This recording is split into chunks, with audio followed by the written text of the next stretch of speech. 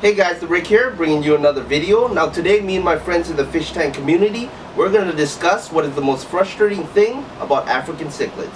So most of my experience with African cichlids are cichlids from Lake Tanganyika.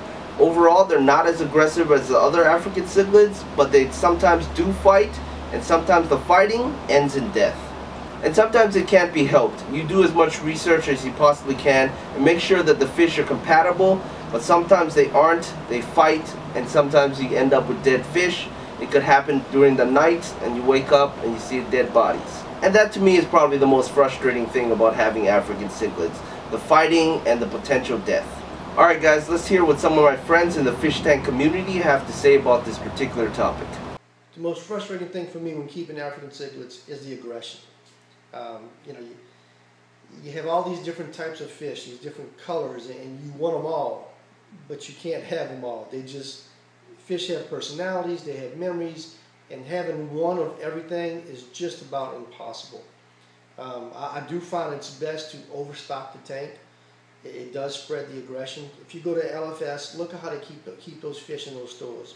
I wouldn't recommend that. I mean, they really have those tanks packed, but the aggression is down, right? That's how they can keep 15 German Reds in the same tank and nobody kills each other because the tank is overstocked. So overfiltrate, overstock your tank, it limits the aggression. At some point in time, you're going to have to make a tough choice. The tough choice of keeping African cichlids. One of these fish in here, one, right now my tank is completely chill. But one day, I got a lot of juvies in here. One day, one of them's going to realize, hey, I can beat that fish up. And when that happens, the hierarchy changes and everybody goes completely apeshit. That's, that's the only way to say it. They go apeshit. So you have to make a decision. Do I let this fish kill this fish? Which one do I like better? Which one do I want to keep? And eventually you'll, you'll find the right mix of fish and have a nice healthy tank. But don't be surprised along the way if you have some headaches, some frustration, until you find the right mix. I find some species are more aggressive than other species.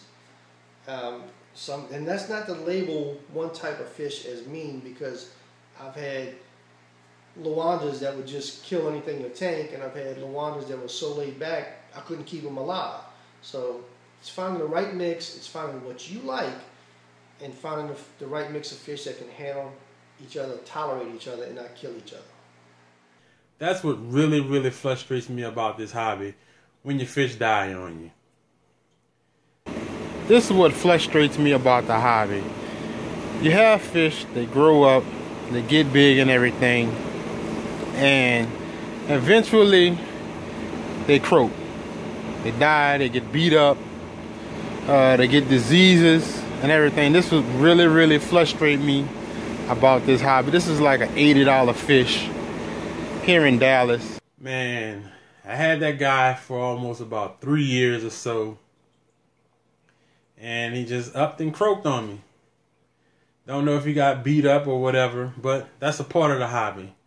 Things like that happen. He could have probably lasted another three years or whatever, but not knowing how many years he was living before I purchased him. You know, he probably was a year or two years old before I even got him. You never know.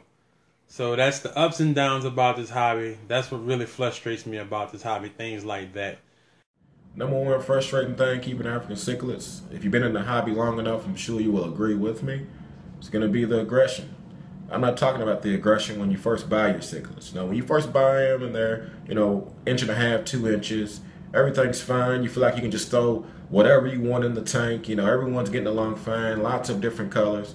But around that seventh or eighth month mark, when your fish really are starting to mature and starting to kind of color up and show their dominance, that's when all hell breaks loose. And I promise you, if you're new to the hobby, heed this warning. It will happen to you. It happens to everyone. So pay very close attention to your ratios and the type of cichlids you're putting together because if they hit that eighth month mark, you have too many males or too many fish that look the same uh, as far as competing against each other, you will have deaths.